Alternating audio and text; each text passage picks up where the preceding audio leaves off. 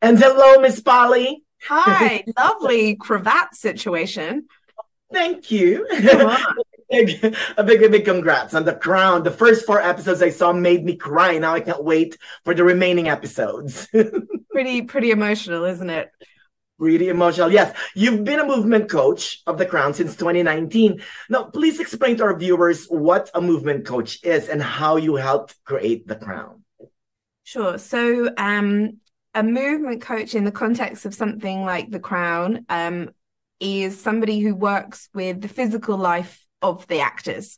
So anything physical that um, they do is something that I will help them unpack and help them create so that they are their own version of the characters.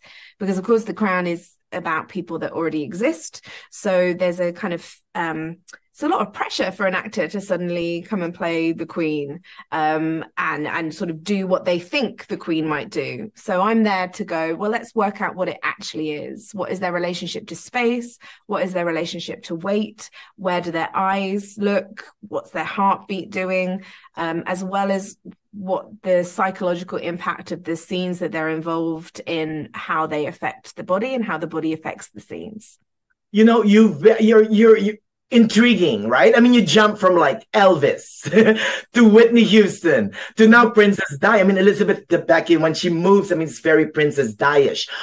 What were some of the challenges that uh, were presented to you in creating this season?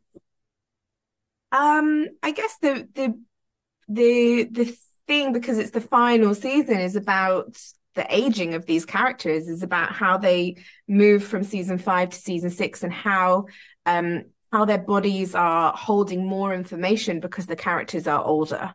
Um, you know, we we gather our experiences in our bodies and they, we carry them around with us. Um, unless we've got a really great therapist to get it out. But you know, there's that we we travel with it. We've we've got it around us. So for Diana, her relationship to her sons and and to her romantic lovers changes. Her relationship to the press changes. The paparazzi um, her relationship to the royal family changes. So all of that is carried in her body in the same way that Prince Charles is getting older, his mother is getting older, the idea of becoming king is getting closer. So there's a lot of physical change, very, very subtly twisting and and um, ebbing and flowing. So working working with those guys on that, but also a lot of young actors coming in to the crown for the last season. So the the boys playing Prince William and Prince Harry, and uh, Meg playing Kate Middleton, working with people that don't have as much experience as our older cast, as well as inviting them into the world of psychophysical movement and uh, helping them unpack their characters that they're playing.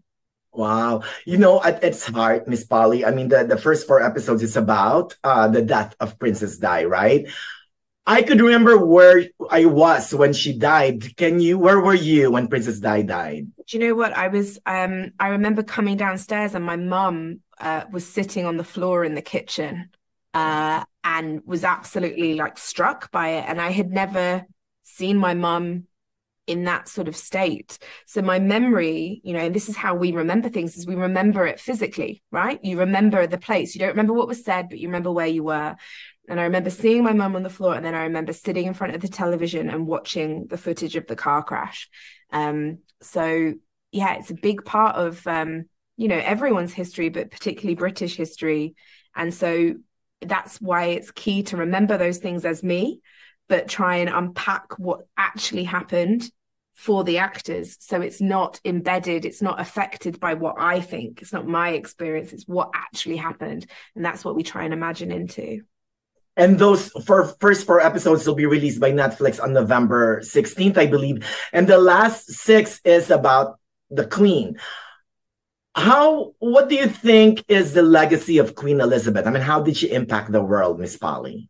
Oh my goodness. I mean, it's be it was you know what, it was so interesting being on the set of The Crown on the day that the Queen passed away because there was something so deeply moving about there being an impending end for us, but uh, an end, you know, in time at that moment. And, you know, whether you're a monarchist or whatever you think about the monarchy, it is still somebody who worked and delivered a job for an incredibly long time.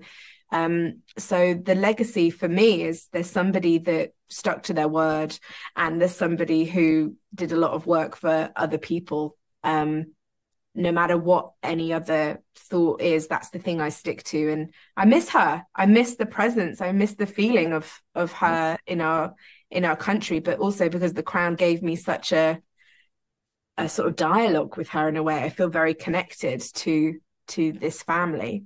But now it's leaving too. The crown is ending. So what am I gonna do? what would you do, Miss Polly? Need to get a new job. Oh, well, continue moving and continue creating space for us, Miss Polly. Okay. Will do, my love. Oh, a big congrats on the crown again, and long live the crown. Yeah, absolutely. Perfect. Good luck on everything. Nice to meet you. Nice to meet you. Bye, my love.